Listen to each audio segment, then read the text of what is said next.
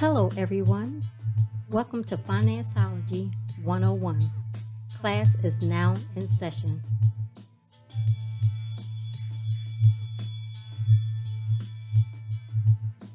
The information provided during this podcast is just that information. You will need to do further research to address your specific situation. Enjoy the session. Welcome, everyone, to another session of Gifted Generations Presents Financeology 101. I'm one of your hosts, Robin Seegers, and the other host is. Elroy Seegers. Wow. What? Y'all hear that bass? Bass, bass, baby, bass.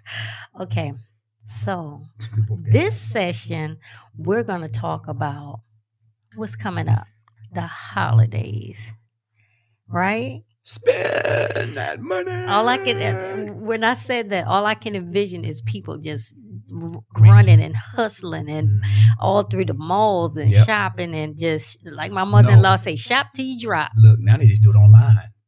But yeah, just Yeah. wait for the man. So now the, the, the- They're waiting for the not- not- not- Amazon Not, Santa. Claus anymore. It's the Amazon Amazon man. driver. Amazon is it. Amazon is it.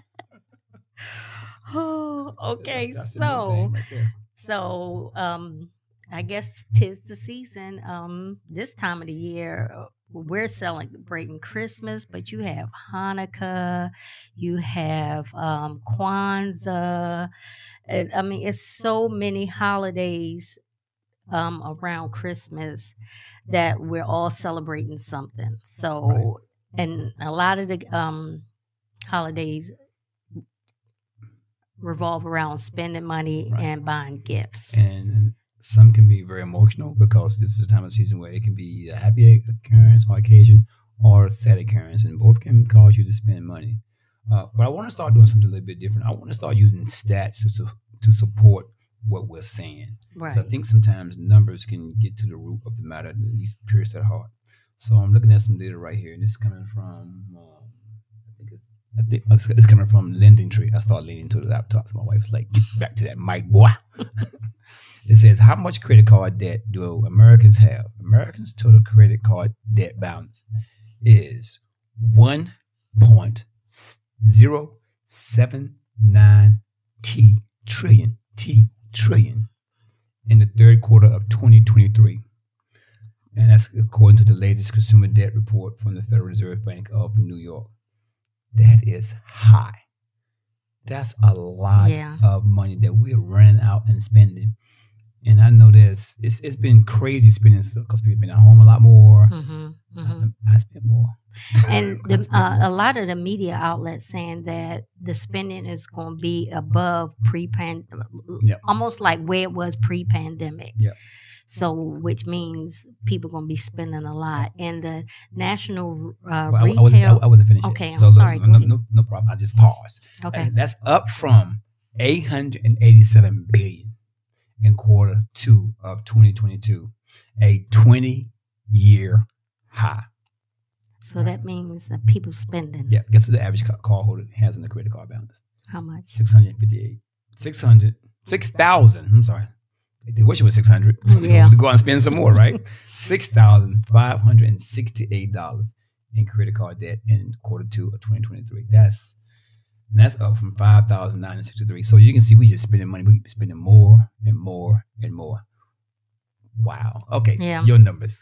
So the uh, National Retail Federation averaged that last year people spent on average each family eight hundred and twenty six dollars easy. Five hundred of that was just gifts. So the rest was decorations and parties and things like that.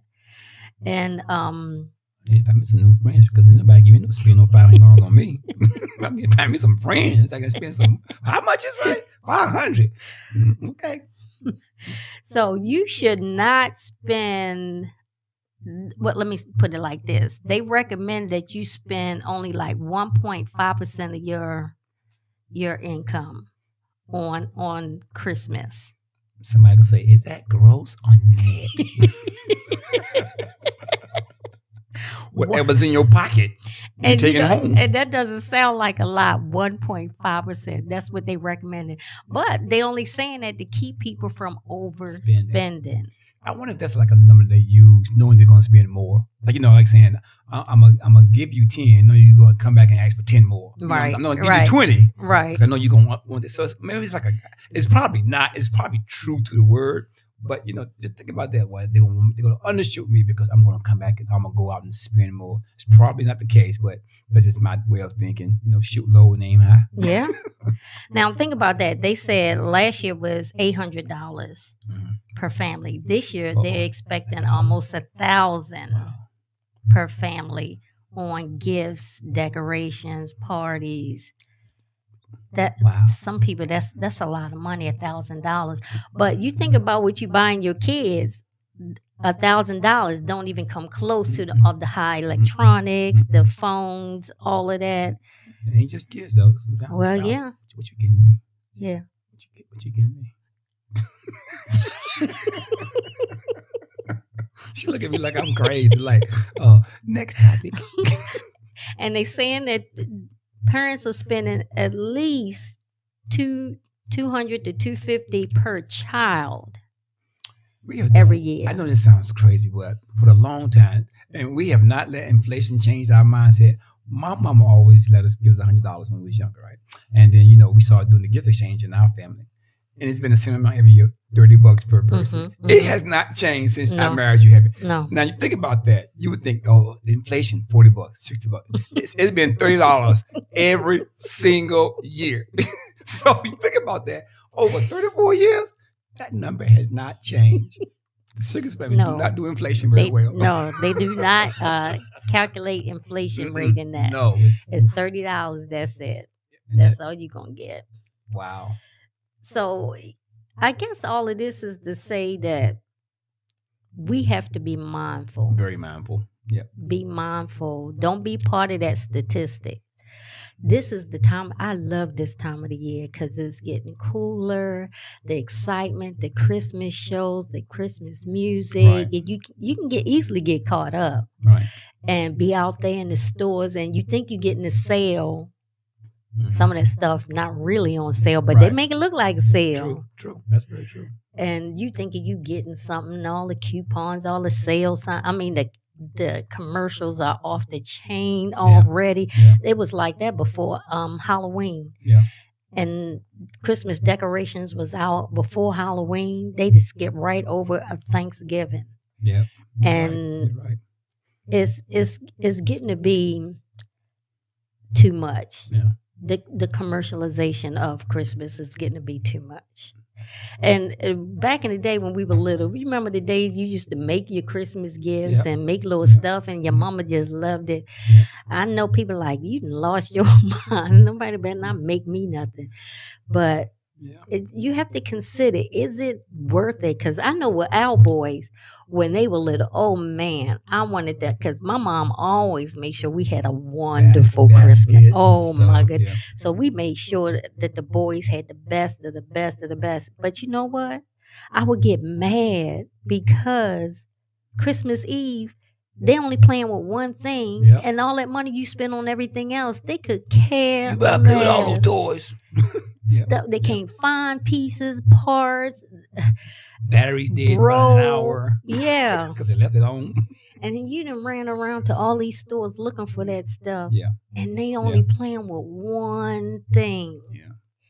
And it used to make me mad. But it was my fault because they had a, the list and I fulfilled the list. Well, we fulfilled the list. And then I got mad because they weren't playing with all that stuff. They only picked the one thing that they liked and that's all they played with, which was, Kids. I mean, yeah, Kids, be kids. kids, you know, like you get a box, gonna with a box. You get a part Yeah. of the pans, they're gonna bring on the pans. Yeah. They Yeah. choose their happiness. We trying to choose it for them. That's that's part of the problem. We're trying to choose what we think the kids gonna want or what we want our kids to have. It's Mhm. almost like saying they want to show more and do more, but end up paying more in the end. Right. So we got to be more reasonable about how we're going about the, our finances of our family.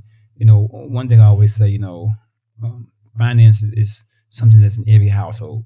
Whether you have it or you don't, it's still in every household. Yeah. You know, in case if we don't have a job, it's still about the finances. Yeah. you know, because you're going to get a job in order to do things in life. So we got to understand what we're doing once once we receive it and manage that to what we think is feasible. And sometimes what we think is feasible is not always the greatest. You know what I'm saying? Right. So you got to sometimes seek wise counsel, or you know, don't look around at everybody else. Look at your household. Look what mhm. you can and cannot do. It may not be the best. Uh, you may not be com- compared, comparing. You may be comparing yourself to somebody else, and that is wrong to do Mhm. because you could be trying to outdo somebody else, and they could have the means to do that while you Mhm. don't. You got to keep that within your your, your own four walls. Or they don't have the means, They and they, they do. and and they making it look like they do, and Yeah. they just as is is in financial trouble as you are. So yep, that's you see that a lot. You know, Yeah. people want Yeah. to have that image of we're doing great, and they go in the house and they're crying like, "Girl, how we gonna pay this bill?" right, right. So just just stay, just search within your own heart, do your own finances and stuff to make sure you're not living outside the means what you can afford. Um, because what's gonna happen is to come January, Mm. that bill is due. Because you know, mm-hmm. after the New Year's, it's like a huge letdown because we were so high with the Yep. excitement of everything Thanksgiving, Christmas, New Year's, and then this big letdown after New Year's, and then that bill start coming in. Well, you know oh what, my you goodness! know what happened after New Year's? Come Valentine's Day, so you kind of like roll January into February. My, yeah, You know what I'm saying? You got like we got Christmas, we got Thanksgiving, we got Christmas, we got Valentine's Day. You got like bam, bam, bam, and you got those bills start to increase. Next thing you know, you got two thousand dollar debt looking at you like, oh, how am I gonna pay for that? right. You know what I'm saying? So we got, Right. we got. I was telling somebody the other day. We got to manage our expectations. I was telling somebody the other day. Um, I was working with a client, and I said, um, he says, well, I guess because it's Thanksgiving and Christmas, I really want to know how much I'm gonna. I'm gonna. We just started with him, right? Um, how much I can. I'm gonna be able to spend. I said, I said, I understand that. I said, but use your spending engagement this month to build next year. hmm So Mhm. focus on like you know whatever you spend. Just say okay, get your receipts and say oh we spending five hundred dollars. That's your amount that you're going to target next year. So now you can start saving for next year. hmm So a lot of times we know we don't really know how much we're going to spend. We just go out and do it. You should really you really should know what you're going to spend well in advance. hmm You know I'm going to spend three hundred dollars on each kid. Boom, done. And start saving that amount well in advance. Not like saying. Uh, let me get this child anything they want, and then you next thing you know, it's it's way out, way too much. So what I told him, say what you're spending for Thanksgiving, Christmas. That's your budget for next year. That's our starting point hmm you can at least know. It may not be the exact number, hmm maybe kind of low, maybe kind of high. You don't know, but at least you have a number you can target towards what you're building towards in 2024. He went, Oh man, I didn't think about that. I said, You got to start somewhere. Right. And you start this year to prepare for next year. Mm-hmm. Mm-hmm. mm-hmm. So, it, so we just wanted to get on here and and start um, talking about the Yep. holidays because they right upon us, and honest. and people already out in the stores. They already buying things. They already catching the sales. I mean, all the stores are having early sales, and they even calling them Black Friday sales. And Black Friday not until next week, but they already calling them Black Friday sales. They So, started doing that earlier this year too. yeah, It was like, you know, uh, I mean, everyone's getting on the um, get your sales out the way early so, Mhm. so they can get the money in, their Mhm. pocket Mhm. sooner. hmm I mean, you think about it. I mean, sales are coming faster and sooner. Mm-hmm. Now, is it good for us? Yes, but you also got to make sure that I, I tend to look at it in the product and then wait to see if they're going on sale and see if they marked it up or it's actually in sale. hmm Because you know how they do jewelry stuff sometimes. He's like, Yeah. that, that ring was five hundred dollars and now it's eight hundred. You saying it's a discount? yeah, Right. discount after, after I jacked it up. You know, so you really got to like market those things because in some stores you can like you know online you can tag it to to to watch it and see if it drops down, then buy ones at a low price type thing. You know, we got we got travel this year. You're gonna be traveling. That's another expense. You got more kids. It's gonna cost you more money. hmm You know, hotel stays, staying with your your, your parents, your friends. All that is, is gonna consume money. Right. It is Because even if you're not, you're staying with family and not staying in a hotel, you're still spending money because they want to go out and do things Yep. and all Mhm. dinners it's and cost. it's gonna cost. So gonna cost. uh, just just start giving thought to that Yep. Before you get caught up in it. Because once you get caught up in that whirlwind, it's hard to get pull yourself out. So just give thought to that. This is why we wanted to do this podcast is to have people start thinking About, about the holidays Right. and maybe even coming up with some Right. sort of ideas on how they're going to handle it. So we're going to do a um, part two to this um, Christmas holiday spending. Santa Claus is in town.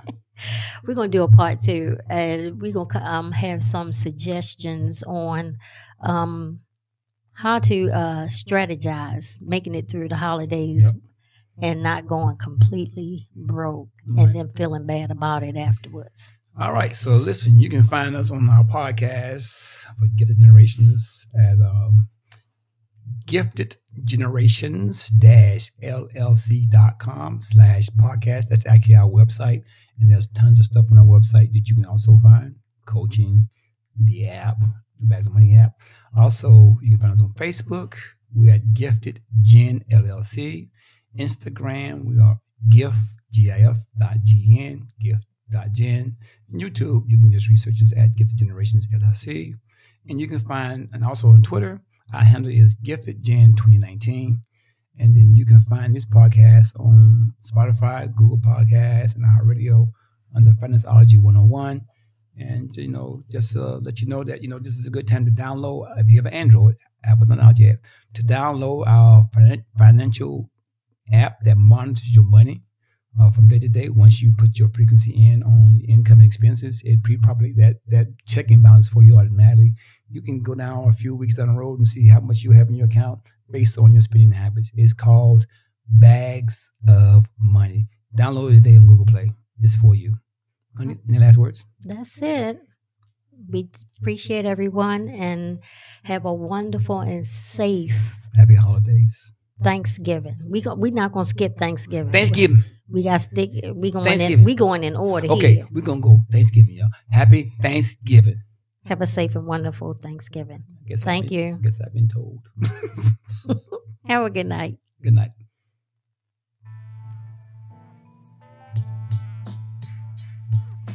Well, thank you for tuning in to our podcast, Financeology 101. I hope you enjoyed this session and the information provided will assist you on your financial journey. Until next time, be financially engaged.